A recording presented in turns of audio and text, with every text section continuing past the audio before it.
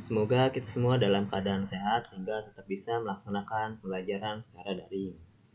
Hari ini kita akan membicarakan atau mempelajari mengenai formulir pengajuan dana kas kecil. Sebelumnya kalian sudah mencoba untuk mengerjakan pembukuan dana kas kecil dengan metode dana tetap atau impress fund system. Sebelum melakukan pembukuan, ya jika dana di kas kecil habis pada akhir bulan atau di akhir periode akuntansi, maka kalian wajib mengajukan terlebih dahulu ya untuk pengisian dana kas kecil di bulan selanjutnya. Di akhir bulan kalian ajukan, misalkan di Januari, nanti kalian ajukan untuk di awal bulan Februari. Seperti itu. Formulirnya ya kita akan perhatikan bersama contoh soalnya. Nah, di sini ada contoh soal.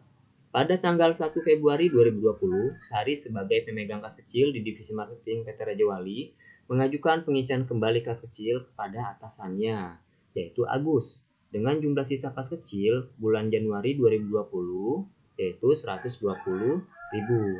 Sistem kas kecil yang digunakan di divisi marketing adalah sistem dana tetap atau interest fund system dengan nominal yang telah ditentukan yakni 5 juta rupiah setiap bulannya. Pertanyaannya, buatlah formulir pengajuan dana kas kecil untuk soal tersebut. Nah, kita perhatikan bersama-sama. Formulir pengajuan dana kas kecil adalah formulir yang digunakan untuk mengajukan pengisian dana kas kecil. Nah, ini bentuk formulirnya ya.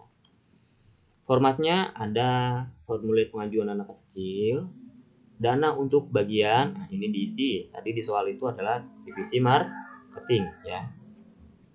Periode kas kecil 1 sampai 28 Februari. Jadi kas kecil ini diajukan untuk digunakan pada periode tanggal 1 Februari sampai 28 Februari 2020. Dana kas kecil disepakati ya untuk dananya karena ini sistem dana tetap, berarti setiap bulannya harus 5 juta rupiah, tidak boleh lebih atau kurang. Saldonya, nah ini, ini adalah saldo pada bulan berikut uh, bulan sebelumnya. Kalau tadi dikatakan Februari periodenya, berarti ini saldo di bulan Januari. Keterangan ini untuk keperluan alasan dan kebutuhan rutin divisi marketing. Jumlah sisanya ya, ini adalah 4.880.000. Nah, total yang di request adalah 4.880.000 ya, sesuai dengan pemakaian ya. Jadi ada saldo 120.000. Nah, selama satu bulan artinya satu bulan di bulan Januari artinya sudah dipakai untuk digunakan dana 4.880.000 seperti itu.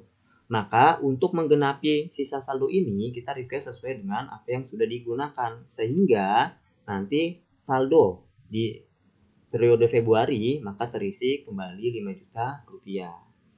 Disetujui oleh Agus, dibuat oleh Sari sebagai pemegang kas kecil ya sesuai dengan soalnya yang tadi. Ya. Nah ini pada tanggal 1 Februari 2020 Sari sebagai pembangkas kecil di divisi marketing. Jadi yang membuat itu adalah Sari ya disetujui oleh Agus atasannya. Nah, kas kecil sisa di bulan Januari itu 120.000.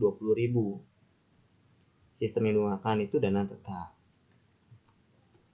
Untuk formulir ya, formulir pengajuan dana kas kecil ini hanya digunakan untuk metode dana tetap.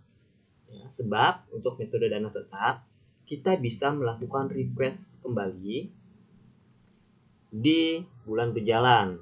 Misalkan tanggal 1 sampai tanggal 3, 25 eh, dananya sudah habis. Nah, di tanggal 25 itu kita bisa request lagi kalau kita pakai sistem dana tidak tetap.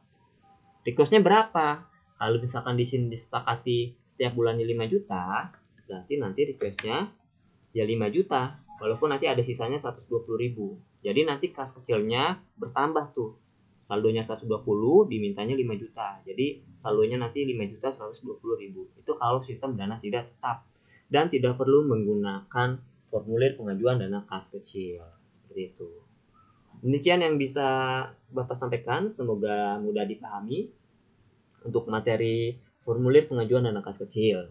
Jika ada yang ingin ditanyakan kalian bisa tanyakan pada pembelajaran kita di Google Classroom. Maka akhiri, wassalamualaikum warahmatullahi wabarakatuh.